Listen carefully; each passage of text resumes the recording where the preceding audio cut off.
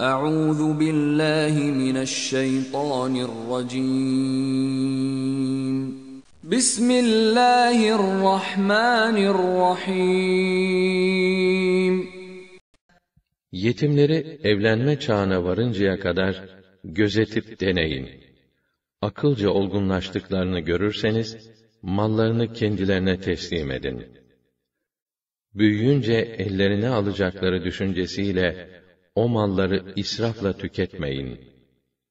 İhtiyacı olmayan veli, yetim malına tenezzül etmesin. Muhtaç olan ise, meşru surette, ihtiyaç ve emeğine uygun olarak yararlansın. Onlara mallarını teslim ettiğinizde, bunu şahitlerle tespit ettirin. Allah, hesap sorandır ve O'nun hesap sorması kâfidir. Yetimlerin mallarını haksız yere yiyenler, aslında karınları dolusu ateş yerler.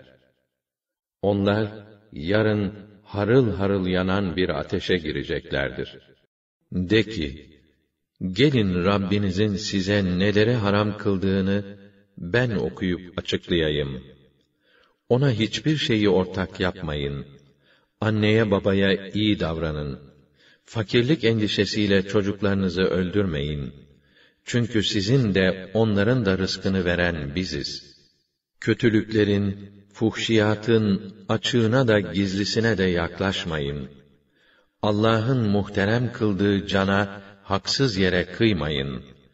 İşte aklınızı kullanırsınız diye Allah size bunları emrediyor.''